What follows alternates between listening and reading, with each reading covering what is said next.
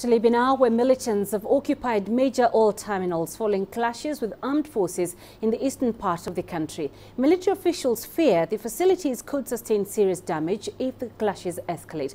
The militias, known as the Benghazi Defense Brigades, are comprised of Islamic militants and former rebels. They were joined by militiamen from the western city of Misrata. Army officials say that their forces made the decision to retreat to avoid destruction of the oil facilities. Libya has descended into chaos since the 20 2011 civil war.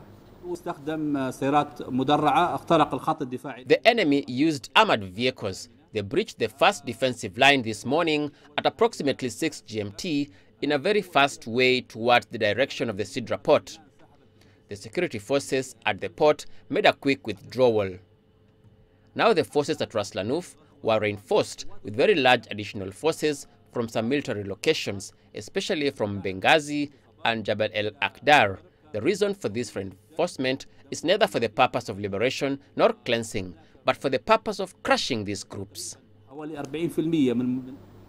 Let's get more from Adel Mahroui, who joins us live from Cairo. Adel, how is the situation now? Are the militia still in control of the oil ports? Well, it seems that um, so far um, the, struggle has not been over, uh, but we know that the most of the control uh, or um, the Libyan National Army forces have been pushed uh, back. Uh, we're talking about two main areas of um, confrontation at the Sidr and Ras Lanuf, uh, where, which are two of the biggest um, oil uh, wells in, in, in, Libya, generally in the Crescent, uh, oil Crescent region uh, in Libya.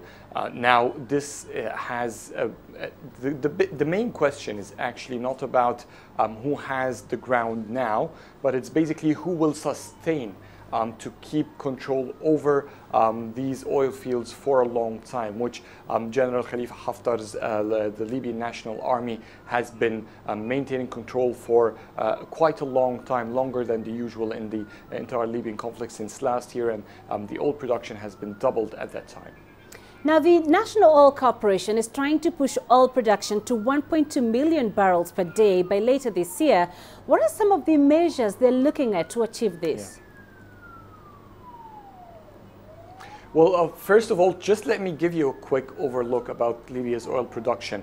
Um, last um, February, the oil, um, uh, the production was about 700,000 bar barrels, from 600 to 700,000, and that is uh, that number is double what uh, Libya used to produce in the previous year. So to reach 1.2 um, that's nearly double the current production.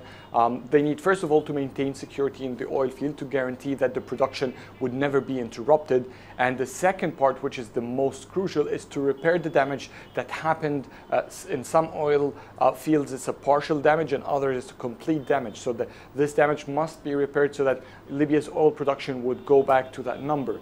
Uh, and reaching 1.2 million barrels it will not happen easily. And at the same time, if it happens, that's not what Libya is capable of. The record for Libya's oil production is about 1.6 million uh, barrels. So there is still a long way ahead. But with the current um, attack that we're seeing right now, we're expecting that um, Libya's production will become below than the range of the 600 and 700,000 barrels because um, as Sidr, for example, or Ras Lanuf, um, their production, if at full capacity, um, could cover up all this amount, the 600,000 barrels. So it is a quite hit. These are two of the biggest, and therefore the production might not see the plans of the national oil company in Libya of 1.2 anytime soon. All right, Adel Mahroui in Cairo, thank you for joining us.